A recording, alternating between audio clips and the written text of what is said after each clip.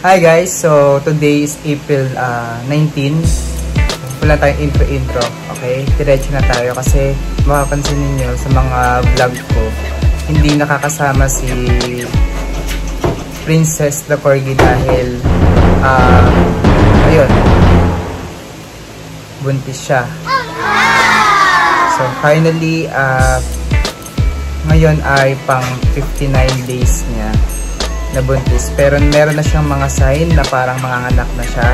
Kaya ngayon uh, nakapag-prepare na kami at talagang magpupuyat tayo para mabantayan siya, mabantayan siya at ma-assist sa kanyang panganganak. So hindi na ako nagpupunta sa vet kapag ka normal naman yung delivery. Um, ako na mismo yung nagpapaanak sa mga corgi ko. Pwede na! Hoping na lahat ng mga magiging anak niya o ilalabas niya ay healthy. Ganun din si Princess. Update ko kayo kung ilan yung mga ilalabas niyang puppies. Okay? So, bibigyan ko rin kayo ng mga montage or glimpse para maipakita sa inyo at ma-share yung mga tuta or yung mga anak ni Princess. Okay? So, yun lang guys. Update ko kayo.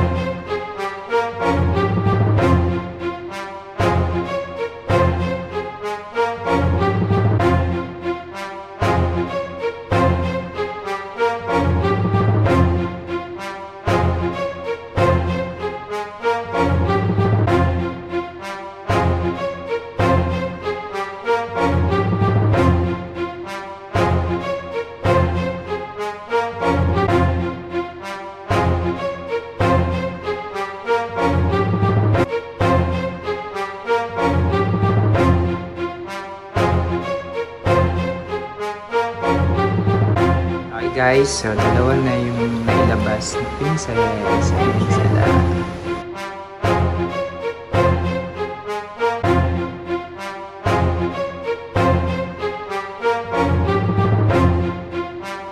Time check is 2 a.m. Alright. So far, isang male at isang female. And healthy puppies. Thank you,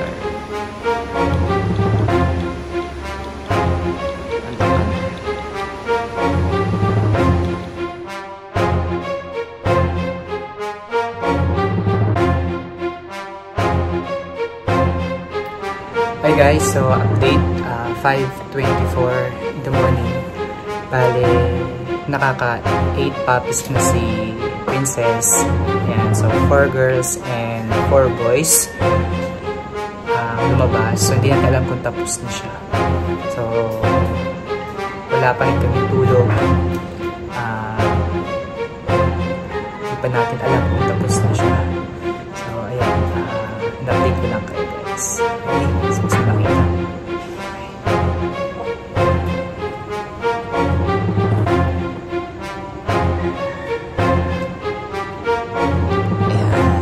konting muna. Okay, so, update ko kayo. Okay guys, so, ayan, medyo inumaga na tayo sa pagbablog. So, almost 6 na. Natapos na talaga. Totally wala nang inilabas si Princess and ayan. So, medyo oily na oily na tayo dito. Haggard na. Pero happy. Um, I am happy to announce na rin na walo po yung naging anak ni Princess Corgi. Ayan, so, four females and uh, four males. Unfortunately, one male um, didn't make it. So, ayan, medyo mahina yung katawan ng isang lalaki. Kaya, ayan. Alright, it's okay, but still, uh, meron tayo ngayong 7 healthy puppies. So, na-thankful pa din kahit na pito na lang yung natira ay healthy naman sila. Okay, so na-expect kasi namin during the time nagpa-ultrasound kami, um, 3 to 4 lang yung nakita. Okay, so ngayon, uh, masaya kasi first time din namin makita at na-experience na walo yung maging anak ni Princess. Okay, so yun lang guys. Um, update namin sa mga susunod na araw. Ciao!